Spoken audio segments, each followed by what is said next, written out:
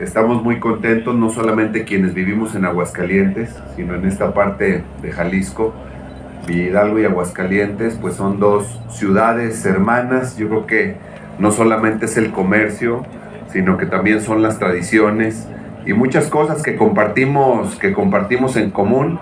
Y estas obras pues vienen a dar una mayor seguridad a nuestra zona. En Aguascalientes es uno de los grandes retos que todos los días nos planteamos, el hecho de privilegiar la seguridad por encima de todo.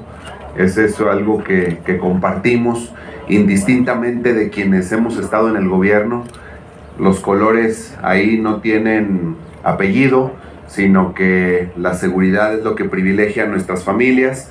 Y bueno, pues gracias al gobernador por esa visión que ha tenido, justamente más allá de las fronteras de su estado, no solamente dentro del mismo, donde ha sido un gran generador del desarrollo industrial, tecnológico, educativo, de movilidad, sino que estas obras pues vienen a darnos pues una mejor infraestructura, mejorar nuestra comunicación y sobre todo a estrechar mucho mejor los lazos entre estos dos municipios, que son municipios grandes por su desarrollo y que son municipios pues grandes por su cultura del esfuerzo, que es lo que nos hermana. Muchas gracias y bueno, felicidades y encantados de que esta obra se materialice. Gracias.